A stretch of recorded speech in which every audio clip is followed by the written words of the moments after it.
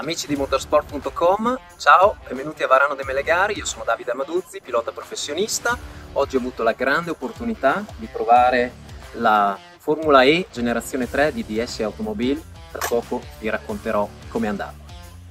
Mi infilo nell'abitacolo con il sedile che già era all'interno. Il sedile è abbastanza confortevole, mi trovo anche nella posizione giusta come visuale, però mi sembra di essere un pochino troppo vicino al volante. Mi fanno uscire, faccio un giro e non riesco proprio a girarlo il volante. Guido con una mano sola, bloccato con il gomito, quindi rientro e proviamo un altro sedile, ma anche questo è troppo, è troppo vicino. La Generation 3 rispetto alla 2 ha una scocca, mi hanno detto molto più piccola e probabilmente proprio per questo ci si deve adattare un pochino e sono costretto praticamente a guidare senza sedile. Togliamo tutto, mettiamo una piccola imbottitura dietro e con questo anche se non è il massimo perché in realtà il mio corpo è libero e gira un po' per l'abitacolo, però perlomeno riesco ad avere la giusta distanza per le braccia.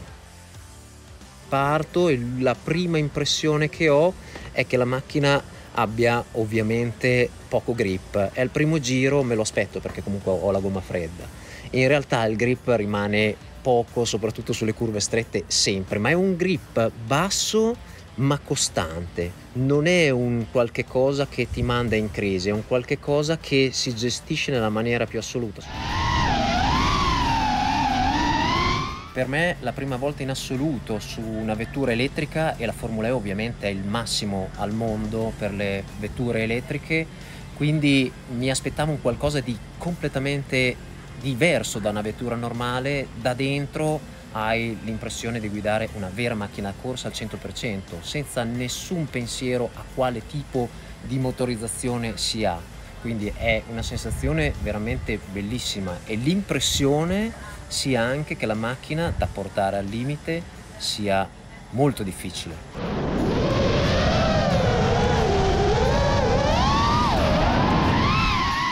Una cosa che mi ha abbastanza colpito e che non mi aspettavo qui a Varano è l'efficienza dell'aerodinamica che si sente fondamentalmente in un solo punto, cioè nella S veloce. Era nettissima la differenza tra la chicane precedente, molto lenta e quindi dove lavora la meccanica e l'aerodinamica non, non funziona, e quella successiva dove invece io alleggerivo ma aiutavo leggermente col gas e freno per, perché comunque era stretta, non si poteva tagliare come normalmente si fa ed era assolutamente facile da fare. Una cosa invece tecnica molto importante che ho sentito che è la cosa che può fare veramente la differenza è l'uso del freno.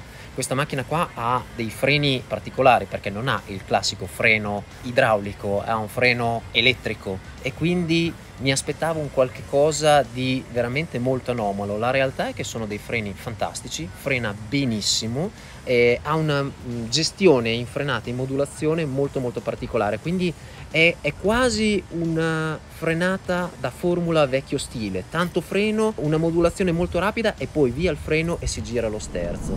È un qualche cosa che fa la differenza.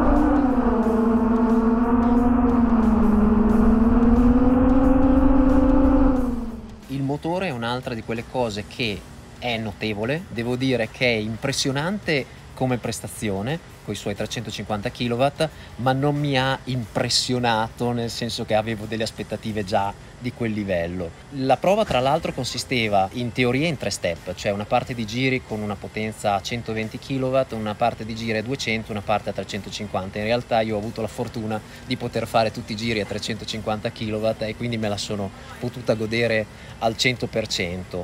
Mi hanno fatto fare un launch control, eh, ovviamente impressionante perché l'elettrico non ha una curva di coppia ma una retta ed è stato impressionante soprattutto la macchina quanto è stabile durante la partenza con il launch control.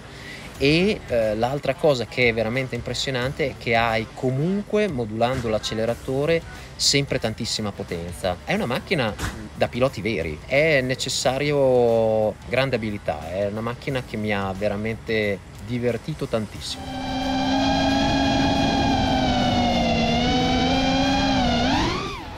Amici di motorsport.com, io la macchina me la sono goduta al 100%, la Formula E è veramente una macchina fantastica, mi sono divertito tantissimo, spero che voi abbiate goduto un po' con me di questa, di questa nuova esperienza e adesso io sicuramente ho un motivo in più per seguire le gare del campionato mondiale di Formula E. Spero di aver trasmesso a voi un po' della mia carica e del mio entusiasmo.